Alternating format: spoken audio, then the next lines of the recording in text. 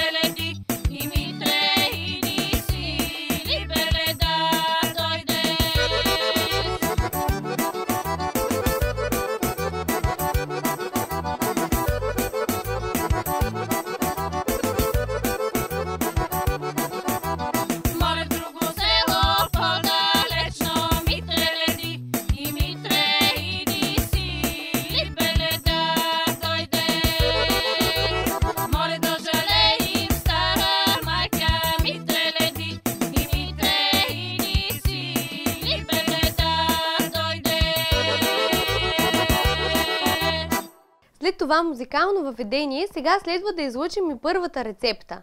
За днес ви обещах да видите поредица от тестени изделия, заснети от екипа на фолклорна трапеза в различни части на България.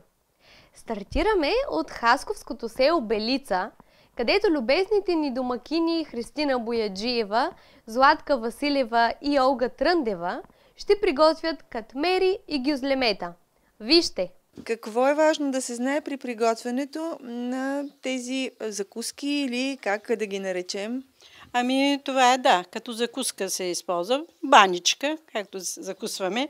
Разделяме тестото на топчета, разточваме ги. Главното е да се разточи хубаво и после да се прихвърля там сиренцето с мазнинката, да се изпече хубаво и и е готово за яден да станат хрупкави. Каква е разликата между катмер и гюзлеме?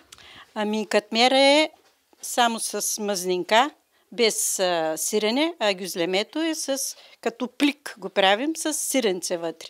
Важно е да отбележим, че и двете се пекат на сач. И двете се пекат на сач. Ами добре, нека да започнем. И с огрибката се госпожата ще ги обръща да се зачервят. Сега? Така, сега разделяме тестото. Тази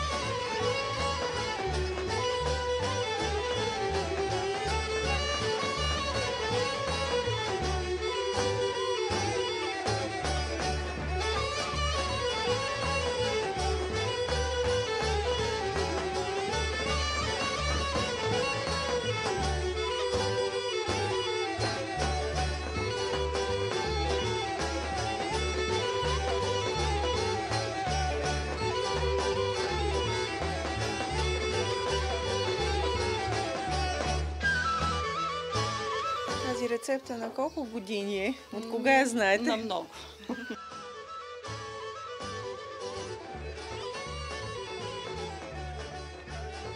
А местна ли е или откъде идва? Ами, гюзлеметата почти навсякъде ги правят, а пък катмерите изглежда са тук местни. Защото аз съм от Ивайловградския край и там а, не са познати толкова, нали, по-друг вид баници правят. И може да се каже, че са местни. Аз искам да ви попитам, виждам, нали, носите, имате и пендари. Да. А, на времето богат край ли е? Как са се носили момите тук? Ами, Какви е- накити? Всякакви имало. Имало е и по-богати, и по-бедни. които са били богати, са имали цели пръчки салтани с злато. А пък които са били по-бедни с една. Една паричка, така по-голяма и, и на синжирче. Всеки дневно ли са се носили или само по празници са се слагали накитите? И по, по празници, обикновено по празници са слагани. А какви хора тук са се играели? Знаете ли? Местни хора. И местни хора, тук правото хоро. Еленино хоро, пайдушко хоро. Всякакви. Правото хоро си е тракийското хоро и то се се е играло по хармани навсякъде. Почти в целия район тук. Тракийски хора, да. Всяка неделя, всеки празник хората са се събирали и са играли хора. Тогава така, такива са били тържествата. Колко голямо трябва да се разточи тази кора? Колкото по-голямо, по-хубаво, по-добре. Да ни кажете как се подготвя сача? Сача предварително трябва да се загрее на печката. Подмазва се, може само с жълтък, може и с мазнина. И когато е достатъчно загрят, се слагат катмерите или гюзлиметът. И се пекат. Това е гюзлемето. Да казвате какво правите докато... Ми намазваме мазнината с лъжицата малко по-неравномерно става. Обилно ли трябва да е намазано? Ами, не много. И сега натрушаваме сиренето. Правите ли си домашно сирене тук? Ами, който има животни, прави. На времето почти всяка къща е имала. Ние доскоро имахме, ама сега вече нямаме. Като сложим сиренето, На всяко загъване ли се слага? и така да да не става сухо вътре.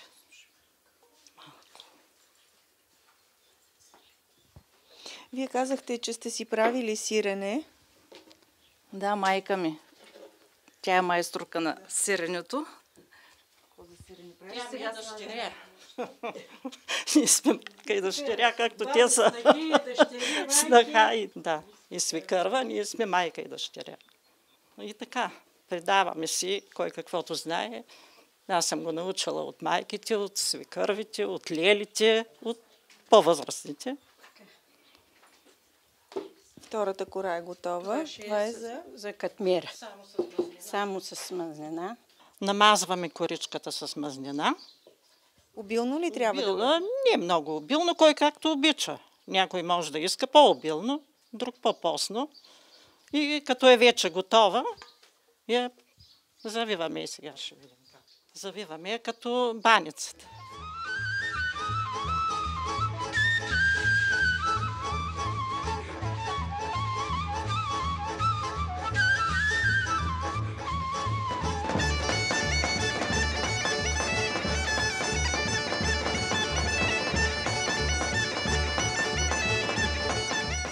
Така да стане на опит. Като оплъвче. И така и вече е готово. А, си, не е готово, полуготово. Малко Трябва да постои да се стегне. Е, няма време кога да чакаме, ще го разточим. Разточва се още един път.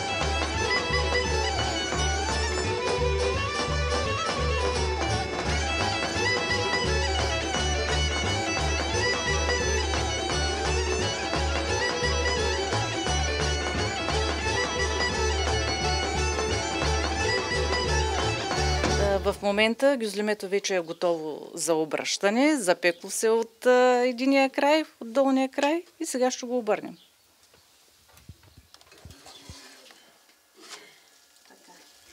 Запечено, зачервено е.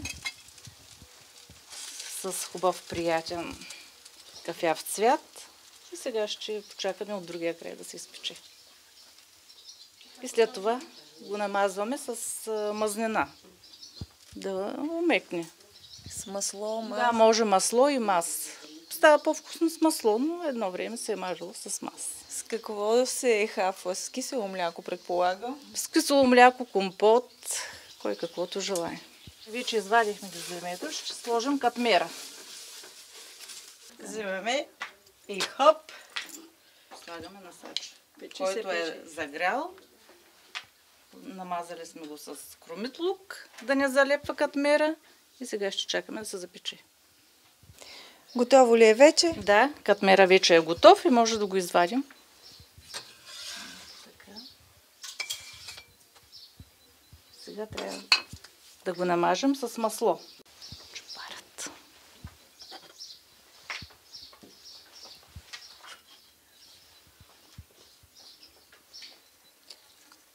Маже се малко масло. само от един Да, от единия край е достатъчно.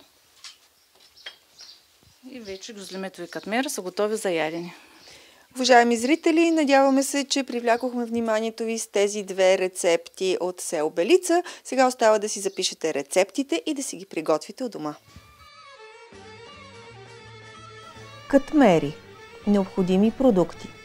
Брашно около 600 грама. Мая половин купче. Свинска мас 100 грама. Сол една щипка. Хладка вода 400 мл. Масло за намазване. Гюзлеме за тестото. Брашно около 600 грама. Мая половин купче. Сол една щипка. Хладка вода 400 мл. Масло за намазване. За плънката сирене около 300 грама.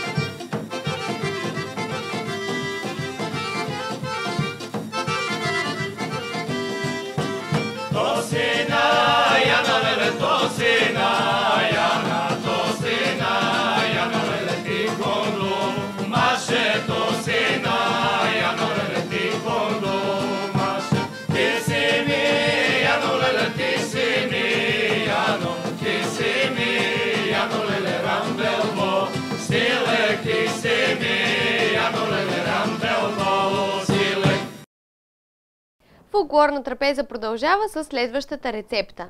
Сега предстои да ви отведем в град Баня, Карловско, където все още се пази рецептата на така наречената триеница трахана. Ако сте любопитни да видите какво точно е това и как се прави, вижте сега. Рецептата ще покаже госпожа Иванка Близнакова. Аз реших да представя една старинна рецепта, нарича се триеница. Някога българката е била много отрудена, много а, работа е имала, имала е голямо домочадие и сутрин като стане винаги трябва да мисли за, първо за закуската. И триеницата е била едно от най-лесните и най-бързи естия. Какви продукти са необходими? За е, нея най-вече брашно, солчица, червен пипер. Това е като е, водичка, е, която е врина котлона, да.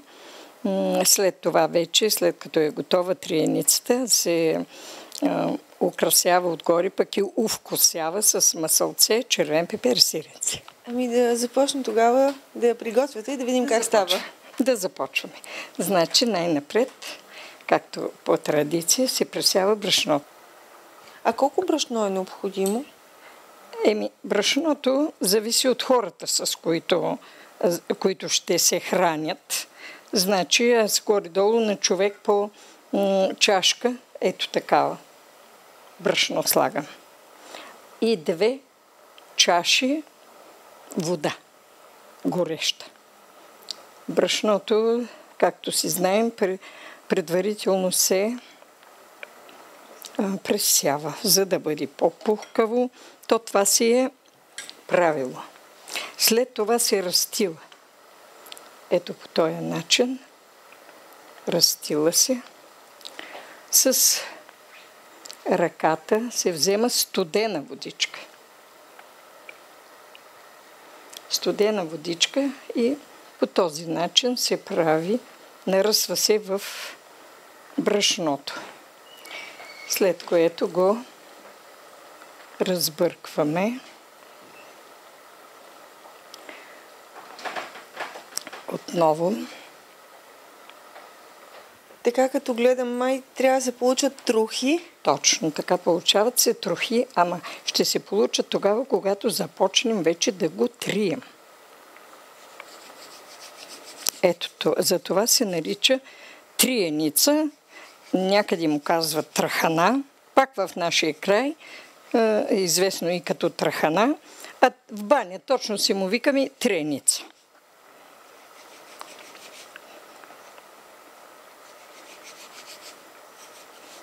От кого сте научила тази рецепта? Тази рецепта я знам от майка ми. Аз моята баба живееше в другия дом и по-малко неща помня от нея, макар че и от нея и тя ми е учила много неща, но тази специална рецепта мама в детството ни твърде често ни хранише сутрин на закуска с ей това. Само от бяло брашно ли може да се направи? Може и червен пипер понякога да се сложи, но специално мама я правише и така, защото червения пипер ние ще го сложим допълнително след това. А иначе, ако тя няма време да се занимава, да я украсява, както сега всъщност ще направим, червения пипер го слага и в брашното. Така. Сега трябва да се отдели остатъчното брашно.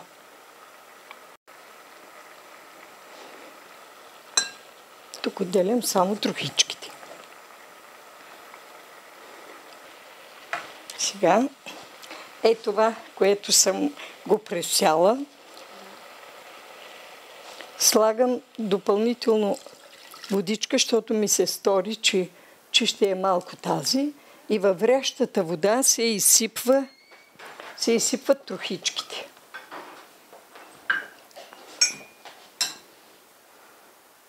Така. Когато има брашно в това, в трохите, тогава рецептата не може да стане добра. Става каша. Така, сега сулчицата ще сложим. да го вкусим. И трябва да поври една-две минути, тъй като водата ни не е достатъчно за, за това количество брашно, зато и това ще го оставим.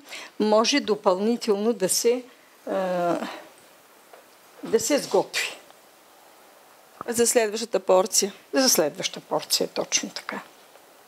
Ето така сега сиренце се слага.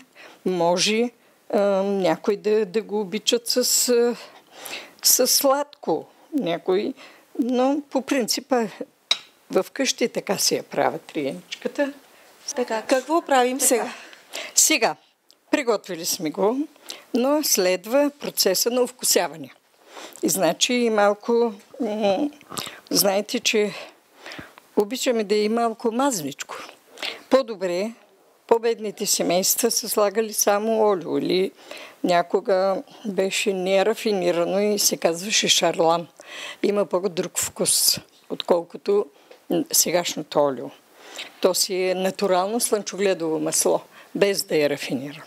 Но по така, по това са се различавали и семействата, които са имали повече животни, имали са масълце вкъщи. С масълце всичко става по-вкусно.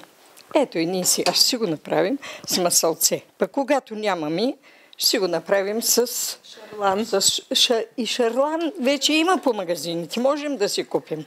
Запържваме маслото. През това време, докато то се запържи,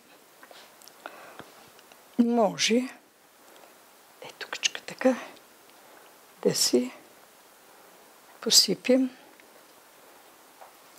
За украса. за украса червеното пеперче. Ето сега сготвихме Като си приказваме сладко. Като си приказвахме сладко и треницата ни стана готова за закуска. Добър апетит! Триеница трахана. Необходими продукти. Брашно – една чайна чаша. Вода – 2,5 чайни чаши. Масло – 50 грама. Сирене – 200 грама. Сол на вкус. Червен пипер за поръсване. Няма как в поредицата рецепти за тестени изделия днес да не включим и поне една такава на домашна питка. Питка слънце предстои да замеси и госпожа Донка Салиева от Старо Железаре. Останете пред екраните, за да видите и тази рецепта, приятели. Най-напред започвам с брашното. Пресявам брашното, за да може така да влезе малко кислород в самото брашно, да стане питата по-пукава. Много пити ли правите? Много. От 30-40 години меса тази пита и много е харесват нашите хора тук. По кръщенки, по сватби. Сега започвам с месенето на питата. Най-напред слагам солта. Една супена лъжица сол. Една супена лъжица захар. Една супена лъжица кисело млеко. Маята, най-напред слагам маята. Олио слагам. Една супена лъжица. И оцет. Една супена лъжица оцет. Оцета с какво ще помогне? Помага на маята, обаче и тестото става много еластично. Много е хубаво. И водичката. Половин литър вода слагаме. Хладка водичка, за да може маята да тръгне.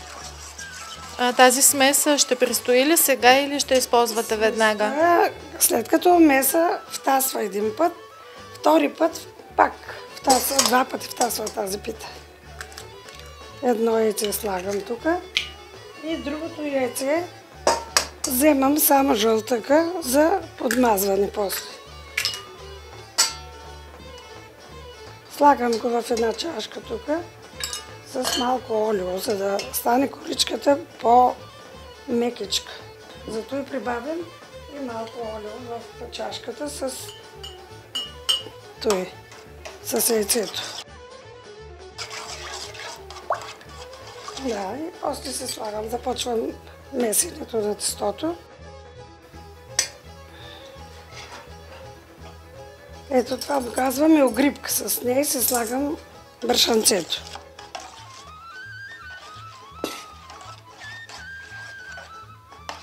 Разбърквам хубаво, да може да попие всичко, да поеме без брашаното, да поеме от сместа. Какви са тайните за доброто тесто? За доброто тесто е брашното най-напред, да е хубаво брашното.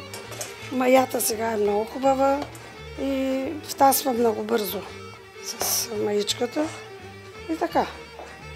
Но най-важното е брашното. А, вие самата от кого сте се учила да Тази месите? питка от моята свекърва, тя беше много добра кулинарка. Научи ме да меса питки, микици, тутманици прави. Много хубави неща правиш и, и така от нея съм се научила. Как разбирате кога е готово тестото? Сега тестото, когато вече започне да не лепи. Тогава усещам, че е изумесено добре. Оставям го да се почине. Около час втасва.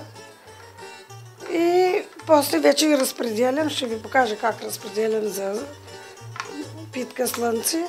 Ще видите. Ето го сега така ще го свия малко.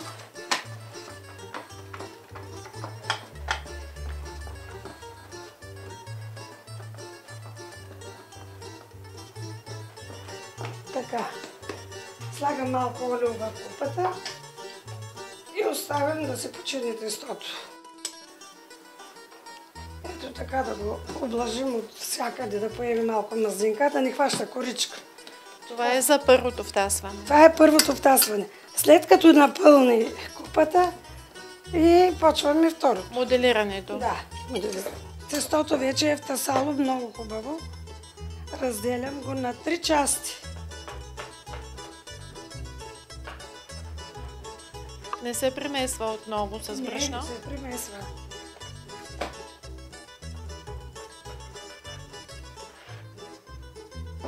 Сега малко мазнинка слагаме на кръга. Така да се подмаже. И започвам разтилането. Е така. Без точилка, само с Без ръце. точилка, само с ръце. Качка. Колкото може, колкото се разточва, толкова е по-хубаво, толкова става по-многолисно тестото. И... Така.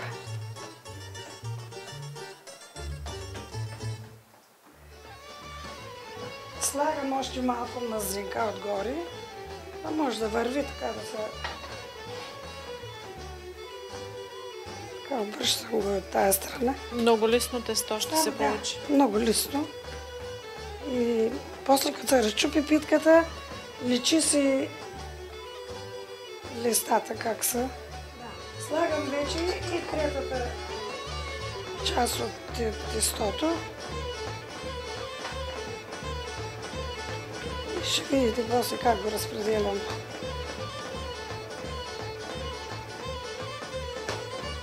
Личи се, че много пъти сте я правила, защото бъ- бързо действате. Всяка седмица правя за музея питките. Всяка седмица. Сега тестото разделям на 4.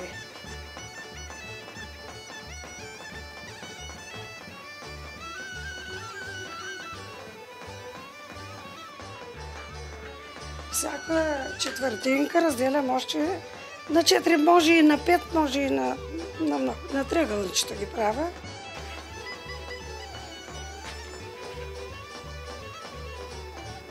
И всяко триъгълниче разстилам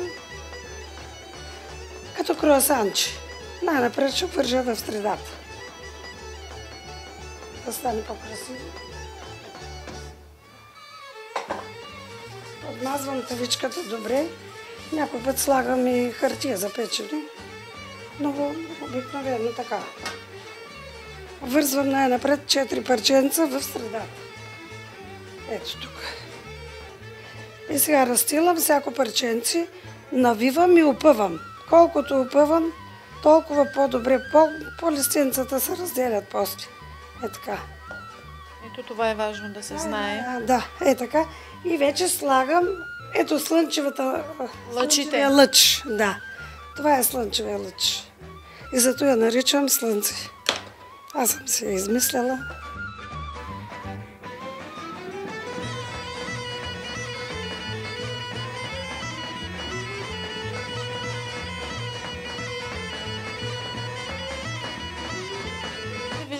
Колко е сръчна моята домакиня днес. Тавата вече е пълна. Сега какво следва? Сега следва да втаса питката, намазваме с жълтъка, поръсваме с сусам и във фурната за 55 минути в студена фурна. Винаги ги слагам в студена фурна и питките стават много хубави. Добре, ще изчакаме второто втасване на тестото. С напредването на рецептата се повишава и настроението тук. Да. Сега какво следва? Сега вижте нашата питка колко хубава стана. Чудесна е. Таса, много хубаво таса, но има едно условие. Значи пипаш чистото, пипа си и бъската. Колкото е мека бъската, толкова да е меко и тестото. И тогава вече питката е готова. Ето, с жълтък и малко олио съм сложила вътре, за да е мека коричката. Намазвам хубаво питката, но не до тавата, защото се залепва. Да. О, сам така. Сега, след като намазахме с жълтъка, поръсвам обилно с сусам. Той се залепва, много хубаво се залепва с... И не пада. И... Придава допълнително. Да, много добър вкус и, и така е красиво. Айде всички да го сложим, да стане по-вкусна питката. Хайде сега до фурната. Тя не е включена. Вие ще я нагласите. студена фурна. Слагаме вече в питката е готова. Слагаме в студена фурна. 55 минути питката е готова. Покриваме с мокра кърпа и фолио отгоре, за да стане мека коричката. Е готов за ядене. Пита слънце. Необходими продукти. Брашно около 1 кг. Сол една супена лъжица. Захар една супена лъжица. Кисело мляко една супена лъжица. Яйца 2 броя.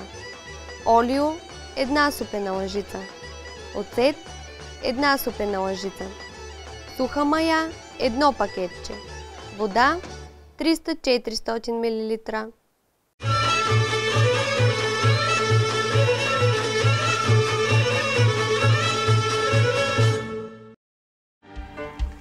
Велико Търново – градът, символ на българската държавност и култура. 14-18 май 2020 година. Световна купа по фолклор Велико Търново, България. И петото издание на конкурса ще даде среща на изявени вокални формации, хорове, танцови състави, ансамбли, оркестри, групи за народни обичаи и индивидуални изпълнители от всички краища на света. Изпълненията ще бъдат оценявани в 9 категории, две възрастови групи и по три критерия – качество и сложност, визия и сценично поведение. Високи отличия и телевизионна слава очакват най-добре представилите се участници. Заповядайте!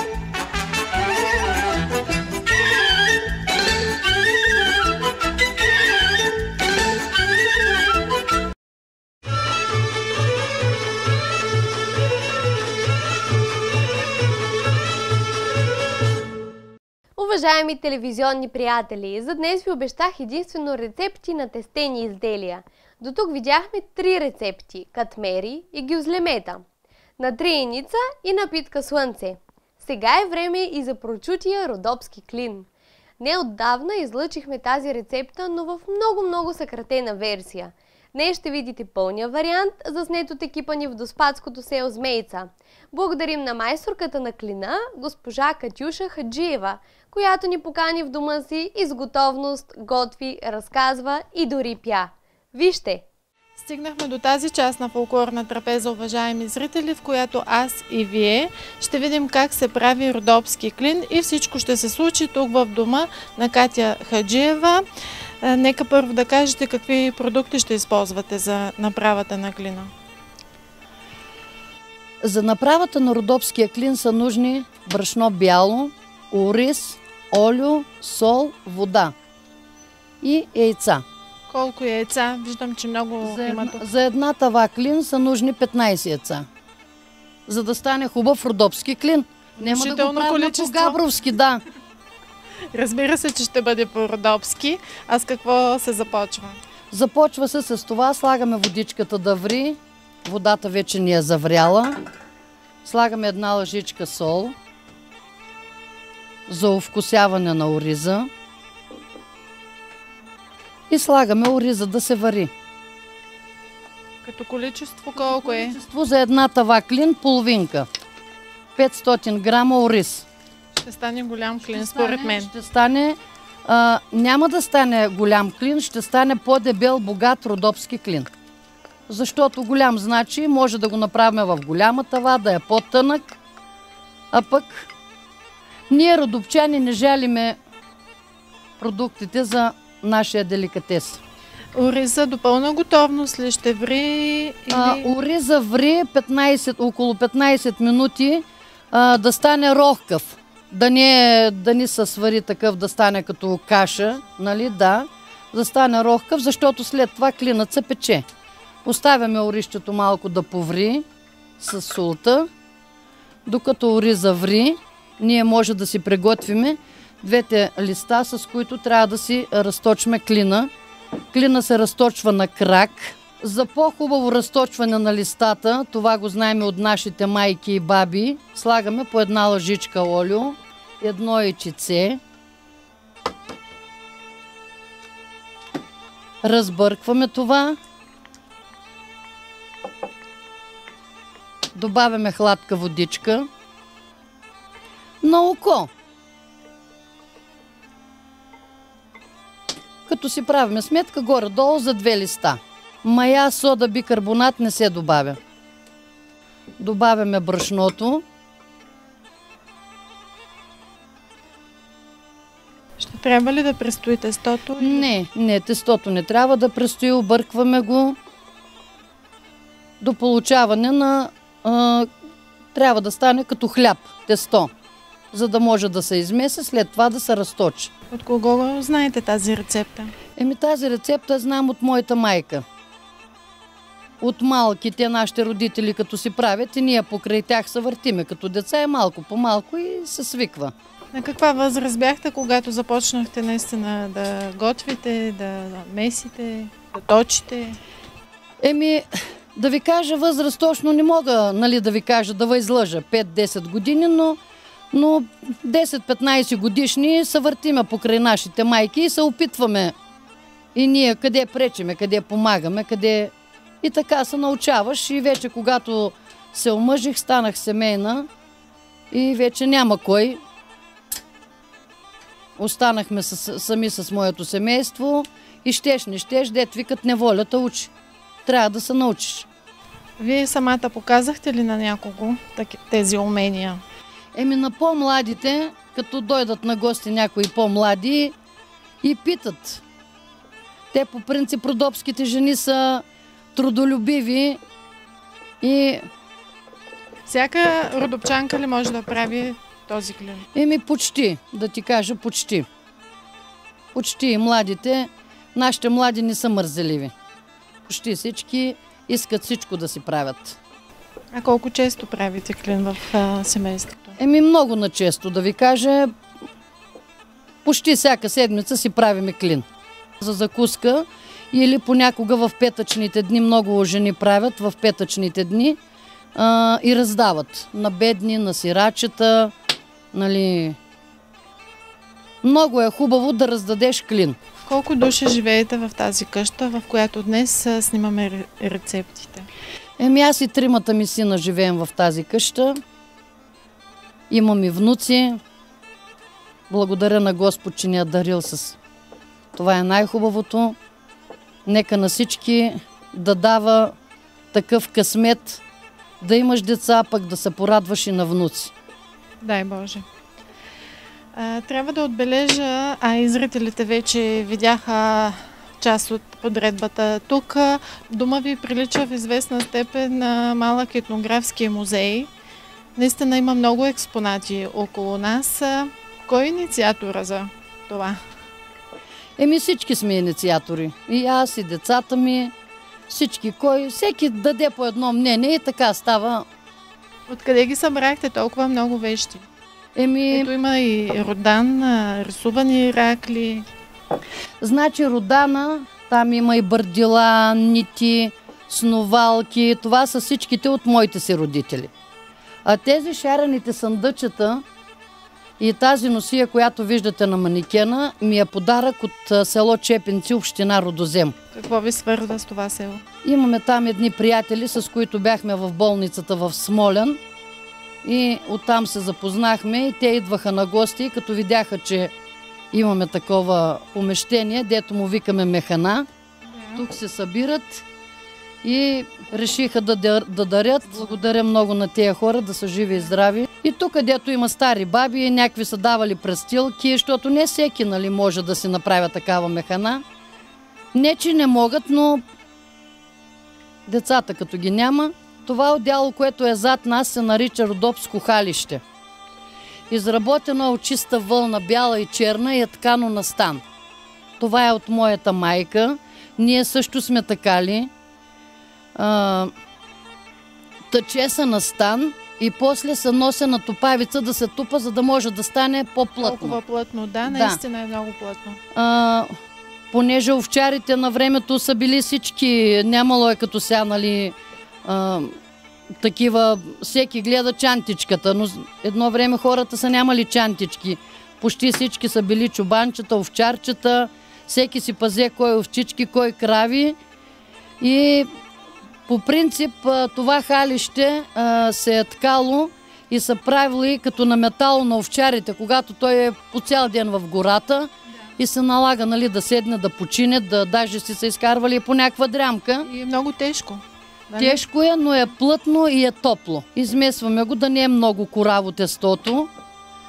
Късаме го на две колачета. За да може да стане за двете листа на тавата. И започва точенето, Започва вероятно. точенето, да. Преминаваме към точенето на клина. Слагаме в, в тавата олио.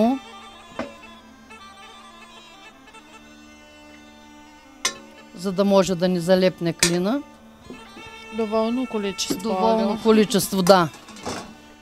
За една тава клин са нужни две листа. Едното се слага отдолу, другото се слага отгоре. Тънко. Тънко. Да не е много тънко. Освен да готвите, умеете ли и да пеете? Да. От малка обичам да пее. И трите ми сина също обичат да пеят. Съпругът ми, той беше голям музикант и той обича да пее. Всички сме музиканти. Тук около нас а, всички са музикални. Много песни ли знаете? Много песни знаеме. Много обичаме родопската песен, родопската музика. Коя ви е любимата песен? Еми има много любими песни, но една от любимите песни ми е Пустият салих без сабор на Радка Кушлева.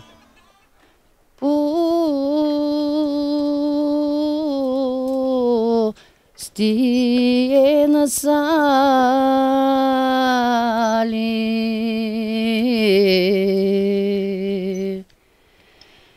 без sabor.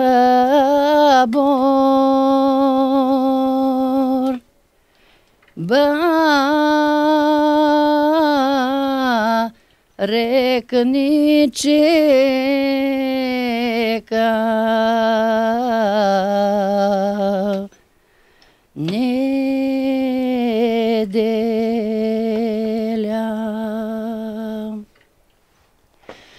Пустиен салих без сабор.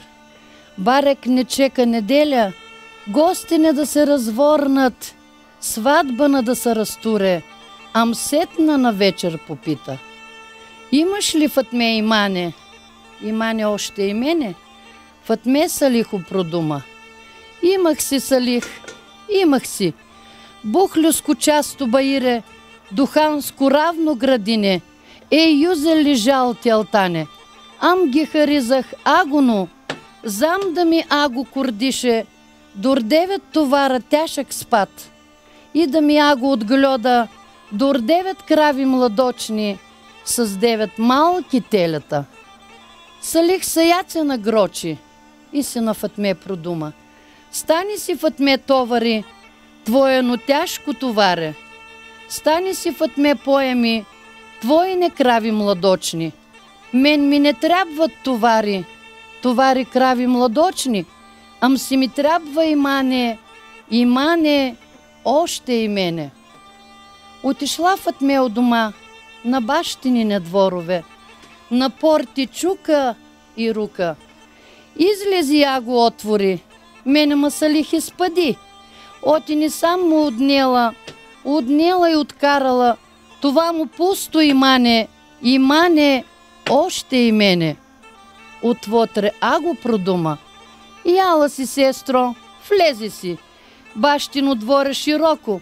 Има място и за мен. Има място и за теб. Седяла в отме от дома, на бащини на дворове. Цали ми дур три години. Да носи салик пишмани, назад да си я повърне. Дохадали са от Търън, дохадали са от Тозборун, тъче са дошли и от Смилян, от Сърдаровско ноконаче, да ищат в ме невяста. Нах Смиляне в прияла, нах там ще невяста да иде. Голяма се и сватба дигнала, с 12 яки мулята, с 12 тяжки товара. Шеминат откъде шеминат?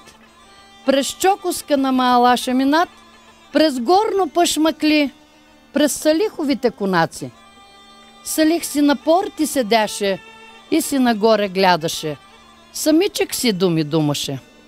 Благатко му на Исоя челяк, дето му водят невяста. С 12 тяжки товара, с 12 яки мулята. Колко наблизо наближат, Салихо сърце трепери. Салих си Фатминка познава. Фатме най-напреш вървяше, на бяла кобила яхаше, с червено нохалище. Салих на Фатминка продума. Слези си, Фатме, яла си. Еди ти дворе широко, еди ти бяло коначе, смиляне яци дилече, сърдариски са късканджии, късканджии още къвгаджии. Фатме не трябва да думе, от я млада невяста, ала Салихо продума. Не мога, Салих, не мога. Три съм години седяла, на бащини на дворове. Седяла тебе чакала, да носи Салих пишманиш, назад да си ма повърнеш. Сега съм вейке торнала, торнала съм шеида. Орлен са камен не враща. Салих обално добълня, извади нощче сребърно, та се в сърцето прободи, силом си думи из дума. Проклято да е имане, имане още и мене, ага си немам севдьона, севдьона порво венчило. Докато пееме пустия цалих без сабо, листата двете ги разточихме, едното го поставихме в тавичката. Забелязвате, другото, че е по-голямо. Другото листо е по-голямо. Първото листо винаги го слагаме по-дълго, а второто по-късо, за да може да се прегъне. След това, докато орището сега ще го, ще го изсипме, слагаме яйчицата в една купа, разбиваме ги.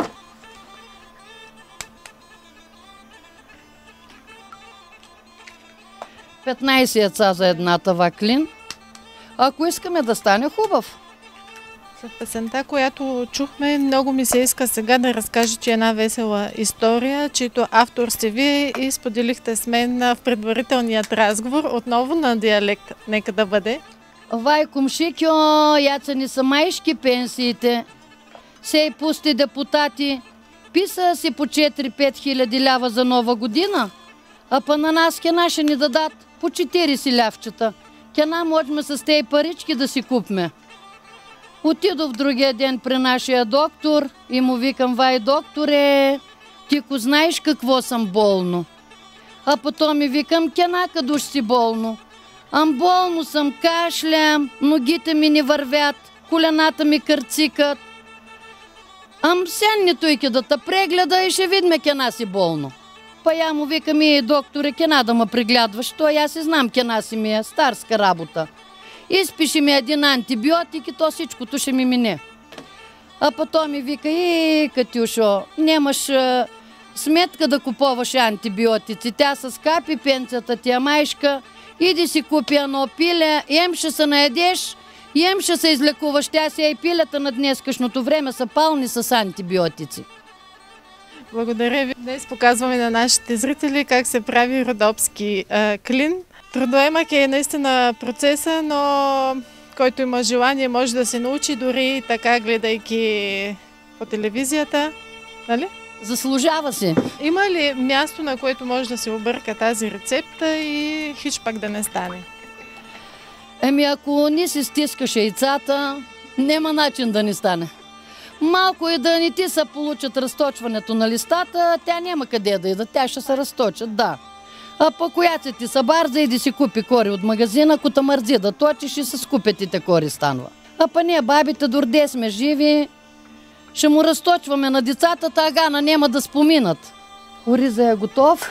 Трябва да го отлеме орището и след, след като се отлее орището в една кошничка, се сипва студена водичка, за да може орището да стане по-рохкаво и да изтине. Слагаме яйцата. Сега ще го отлеме първо, ще го охладиме с студена водичка, ще го измиеме още един път. Добре, нека да свършим тази работа и ще продължим. Добре. Преминаваме към следващия етап на рецептата Родопски клин. Ориза вече е подготвен и следва да се смесят двете основни съставки за плънката. Да, ориза го изцедихме, измивме го с студена водичка и сипваме яйчицата. Объркваме ги в ориза.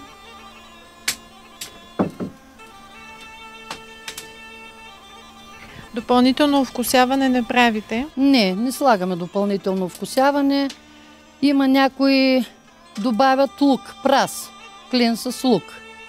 Някои слагат извара, някои слагат сирене, но от моята майка така си го знам и от моята свекърва, те винаги си го правяха чисто. Ориз с яйца и масло. След това на второто, отгоре на втората кора, се слага маслото. Маслото, да. И преминаваме към ориза с яйцата, ги слагаме в, върху листото.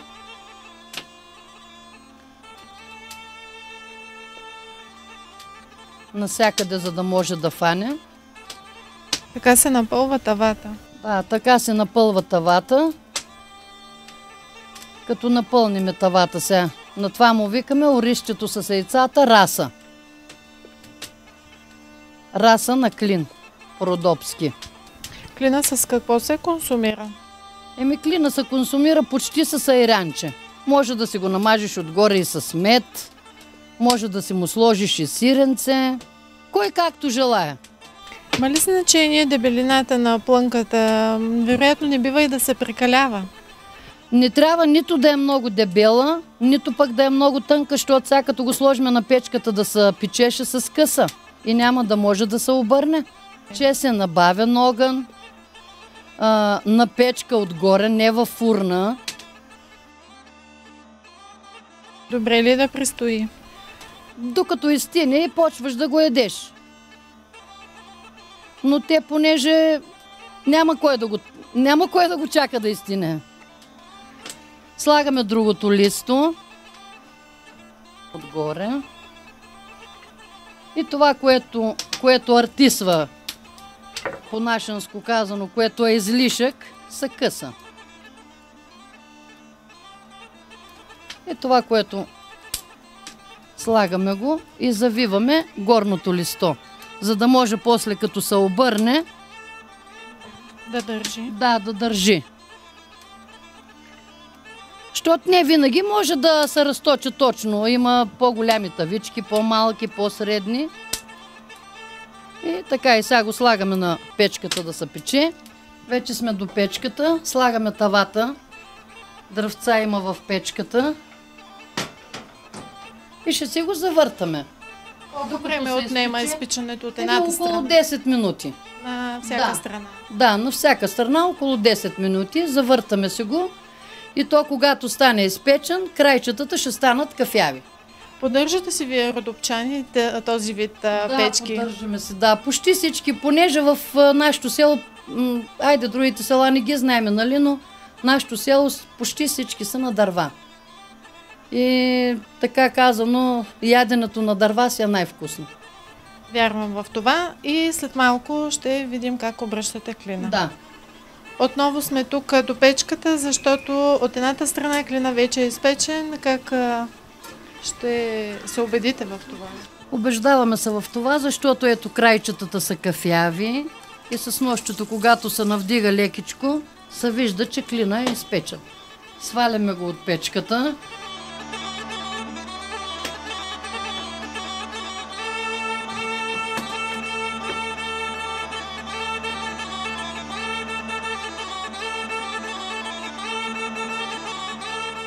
Обръща се на кръга и си го връщаме обратно в тавата, за да може да се го изпечем и от другата страна.